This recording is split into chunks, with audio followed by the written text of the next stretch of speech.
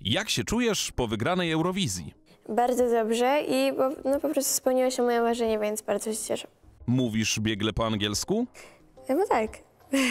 Raczej tak. Jak świętowałaś wygraną? Nie, e, nie zasnęłam jeszcze do tej pory, e, ale generalnie to była mega zabawa. Poznałam nowych, fajnych ludzi, więc do tej pory utrzymuję ze sobą kontakt, e, więc naprawdę było no, naj, najlepsza chyba rzecz w moim życiu po prostu.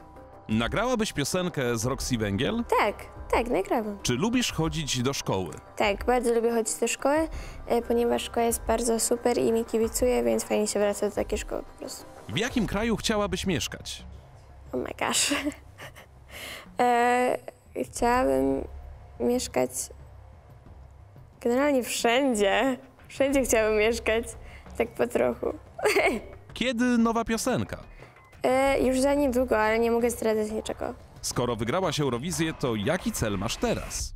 Jest bardzo dużo takich celi, którzy, których bym chciała jakby zdobyć, e, ale teraz będzie właśnie Sylwester w Zakopanem, gdzie będę mogła zastąpić, jakby, gdzie będę mogła wystąpić i spełnić swoje marzenie. Ed Sheeran czy Justin Bieber? To i to.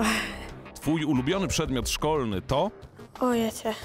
E, bardzo lubię muzykę, plastykę. Mm, no, chyba te dwa najbardziej. A najgorszy?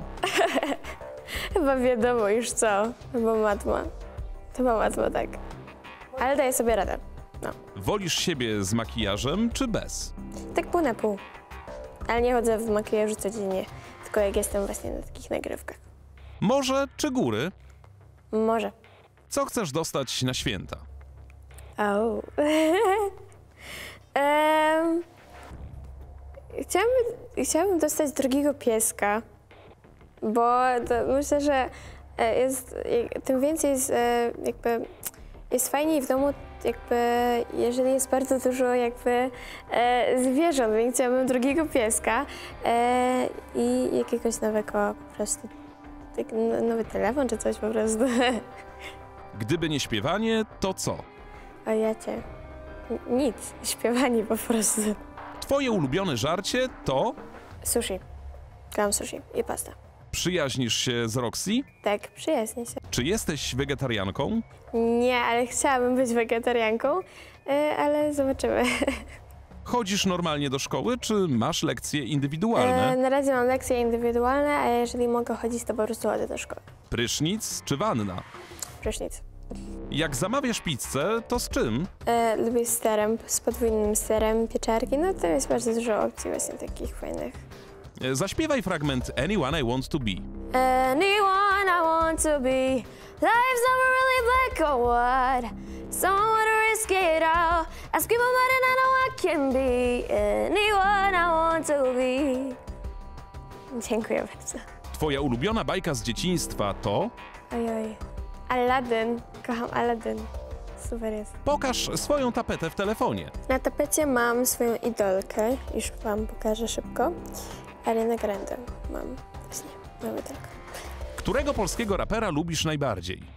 Aha, e, to jeżeli e, chodzi o polskich, to jest bardzo dużo takich raperów, którzy są świetni.